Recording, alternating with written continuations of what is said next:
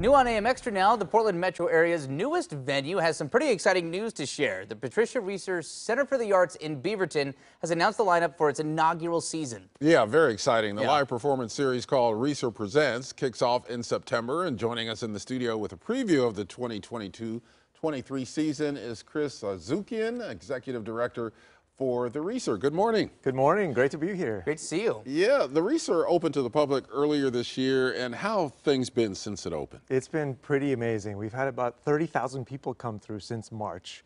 Uh, lots of festivities in Beaverton, and it's been such a joy. People coming through the center saying, I can't believe this is here.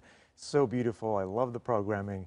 It's been really rewarding for all of us to see this, especially at this time coming out of the pandemic and out of isolation. Yeah, well. great timing for that. No yeah. doubt about that. Who are some of the artists that are coming through for this inaugural season? Who can we look forward to? Well, we're launching in mid-September, September 16th through 18th, with none other than Pink Martini with China Forbes and Storm Large. Great. And then we have a vast array of artists from all over the world. We, we talk about bringing the world to our stage in Beaverton.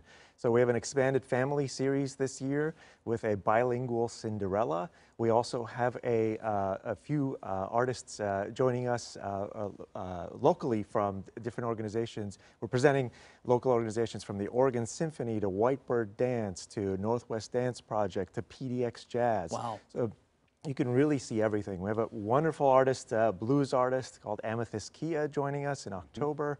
We also have a Heart of Afghanistan performance in uh, May. So we're really bringing the best of the world to right here in Beaverton. Really Talking cool. about the best of the world, I mean, this is a really state-of-the-art facility. And uh, just talk about some of the features and, and some of what makes the Reser such a great place to go see your show. Well, at the heart of the facility is a 550-seat stunning theater. Uh, I mean, you can't really, uh, it's, it's the best in terms of sight lines and comfort, and you really feel an intimate connection with the artist. And then there's also plenty of space for, uh, we have a beautiful space for arts education initiatives and also uh, for meetings and events. So we're really a place for everybody.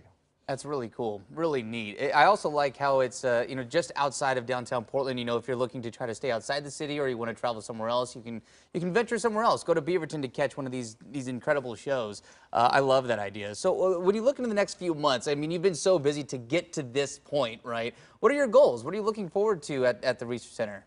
We're really welcoming everybody. That's the goal. Uh, really, uh, a place where everybody feels comfortable, like they belong, like they see themselves on stage. That's very important for us. As you may know, Beaverton is one of the most culturally diverse cities in all of Oregon. One in five people are born outside of the United States uh, that reside in Beaverton and around in Washington County. So we, we really take pride in that. It's part of our DNA to really welcome everybody and to feature cultures from all over the world. Yeah, uh, to have you here, uh, you know, we've got to mention the uh, the person that this is named after, the facility that it's named after, Patricia Reser. Uh, you know, her family, no, Reser Fine Foods and, uh, you know, Oregon State Beavers, all of that.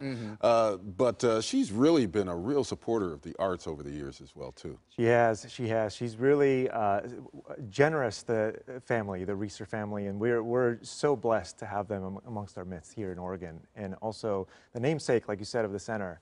And Pat, for many years, has said, it, along with a grassroots group of community members, has said, we really need more arts access for kids, for everybody. And uh, there's no better time like now to have more arts access, to bring joy to everybody. I think Absolutely. that's great. I think that's great. Real quick before uh, before we let you go, where can uh, we find tickets for upcoming shows? Yes, we're actually going on sale to the public today at 10 a.m.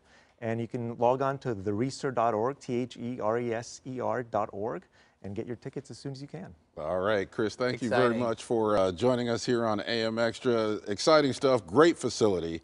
Uh, we followed it all the way from the beginning to now, Yeah. so we, Thank we you so much. appreciate it. Yeah. Glad you were here. Thanks and if you having want to browse through the uh, lineup of performers coming up and get your tickets, go to their website, thereser.org.